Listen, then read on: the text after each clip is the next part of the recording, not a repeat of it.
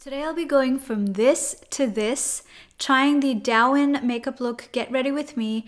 Douyin basically refers to the Chinese TikTok and the makeup is a broad style defined by soft and beautiful looks that give a doll-like appearance. So let's get straight into it.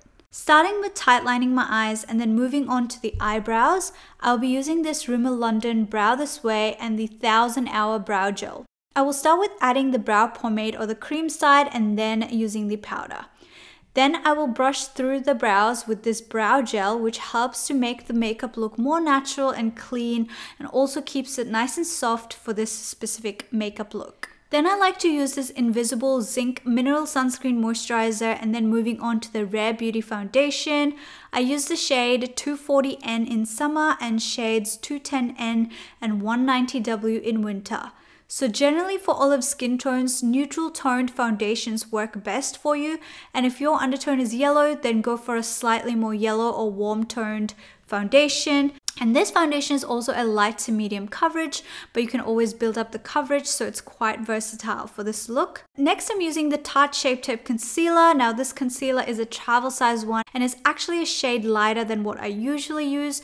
I usually go for the light medium sand, but this one is in a light sand. I had to get it for traveling, but it still works. Focus on covering all your dark circles, redness, acne, and blemishes, and on highlighting the center portion of your face to add a natural contour. And I'll be going over the sides of my face later on with a bronzer, so it will balance everything out. Next, I'm using the Hoola Bronzer by Benefit in the shade Caramel as an eyeshadow base and also to contour my nose concentrating on emphasizing the brow area and the tip of my nose only and leaving out the bridge of my nose. This bronzer works well for olive skin tones because caramel can add some orangey tones and color which complements olive skin tones and add some glow to your skin tone because as you know olive skin tends to sometimes look washed out, dull or pasty. Moving on to the blush, again go with an orangey toned or warm toned pink blush and for this specific makeup look, they like to apply it almost right underneath your eyes to start right above the apples of your cheeks and some on your nose as well to create that soft flushed look.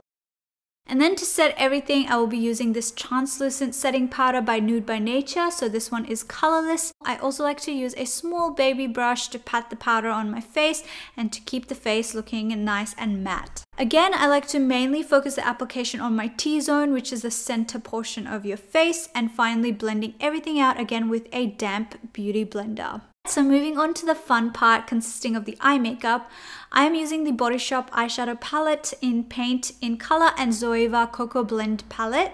I'll be using the dark pink and maroon shades, which again is great for individuals with olive skin tones. Starting first with this white or beige eyeshadow, using that all over my eyelid space with my finger and then going over with the maroon eyeshadow all over my crease. I'm also adding some brown on my crease to create depth and also on the lower lash line. With this specific makeup look, they love to emphasize the bags under the eyes. It helps to open up your eyes, make it look bigger.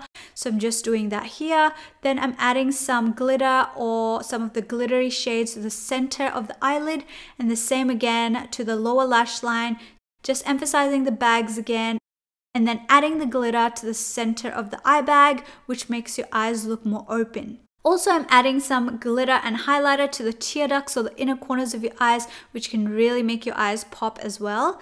This adds to that soft, glowy look. And highlight underneath your brow bone, the center of your nose, as well as on the tip of your nose. For the eyeliner, I'm using the Epic Ink eyeliner by NYX or NYX, just drawing a line as close to the lash line as possible and then winging it out towards the ends.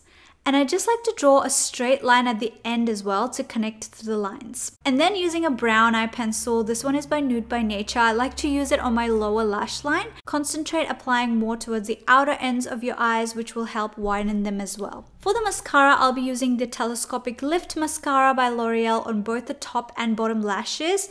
And also for this specific look, I'll be using the Ardell Wispies for the false lashes to create that doll-like appearance that this makeup is actually really famous for. If you want a more subtle look, you can also go for individual lashes. Finally, moving on to the lips, I'm using the Burt's Bees Lip Balm in Pomegranate, the Strip Down Lip Liner by MAC, and the Whirl Lipstick by MAC again, which is great for olive skin tones. Applying the balm first, and this balm is also slightly tinted, just the pomegranate one, to hydrate, and then I'll go all over my lips with the lip liner, including slightly overlining them, but I will be sure to smudge and blur them out as well, just with my fingers to keep in theme with this makeup look.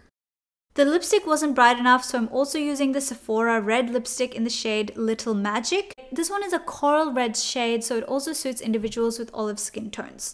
I'm applying that just in the center of the lips and the center of your mouth, as they like to do for this specific makeup style. They basically like to have a really blurry lip um, on the outer corners with more color concentrated all at the center of the mouth. So this is the final result. Thanks for watching, and I'll see you in my next video.